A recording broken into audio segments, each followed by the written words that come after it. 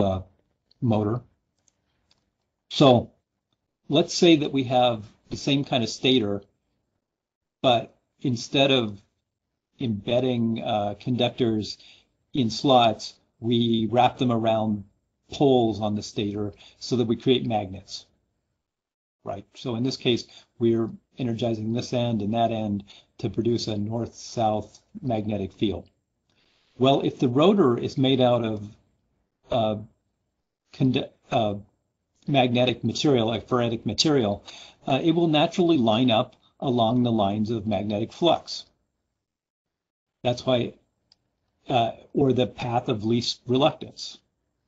So uh, that's how these motors work. You you turn them on, and then the bars line up. Then you turn on another set of magnetic poles, and the bars line up with those, and etc. So to make the uh, the internal go around.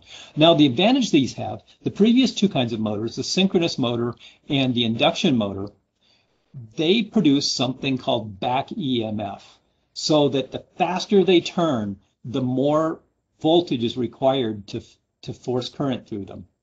That's not a good thing right? That that means that they become less and less efficient as they turn faster. And really, what's happening is they're kind of becoming um, less like motors and less more like generators as they spin faster and faster. So they're kind of working. Let, us say they're just kind of working against themselves.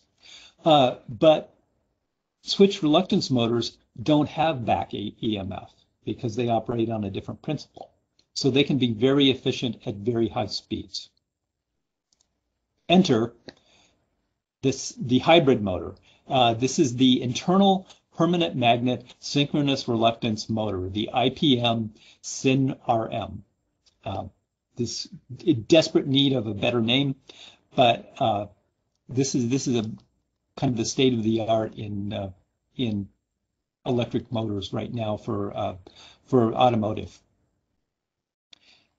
So what we do, we bury the magnets within the within the uh, rotor. And in doing so, we create, you know, we have the plus here, we have the minus here, we have the plus there, we have the minus there. So this rotor can function as a synchronous motor. Uh, however, we also see that we have bars across here. Like there's a solid bar of iron across that way, a solid bar of iron across this way, a solid bar of iron going that way. So it can also function as a switch reluctance motor. So what we can do to get the very high efficiency is at low speeds, we can operate this as a, as a uh, synchronous motor. And then as we go at higher, higher speeds, we can change it so that it's, function, it's functioning as a switch reluctance motor.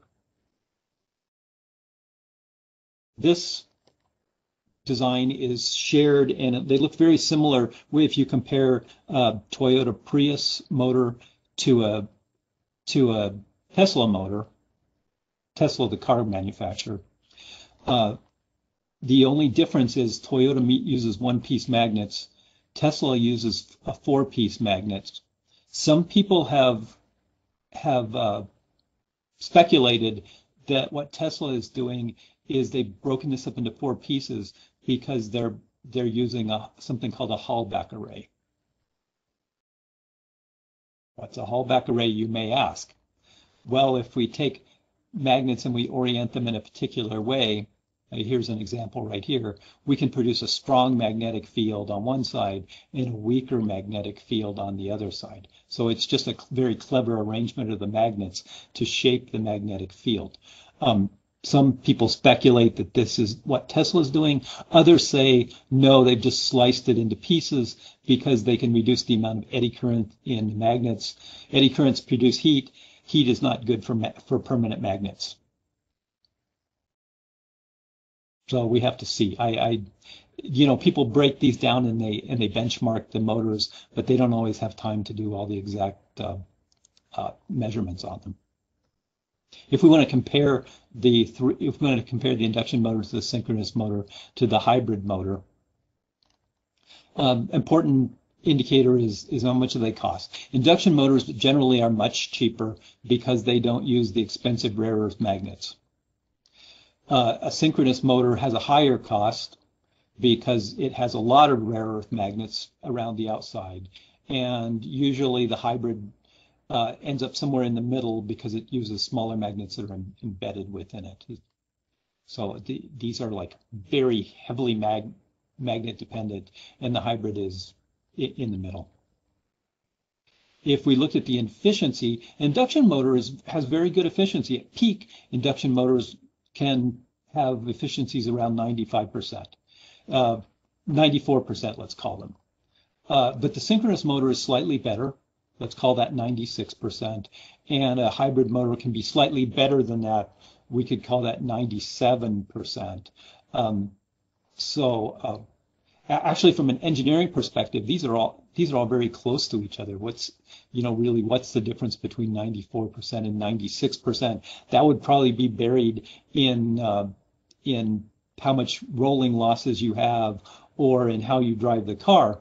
However, you know these cars have to be marketed. So if this car goes 200 miles on a charge, and all things being equal, this car goes 200 and and seven miles on a charge, this car wins the marketing war and uh, is more likely to be purchased.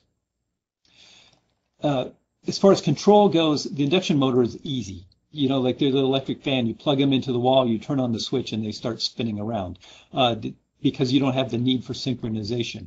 The synchronous motor is is more difficult. However, with modern computer control, um, it's still something that's very very manageable. And then to get the maximum efficiency out of the hybrid motor, it's necessary to have a more complex um, control control.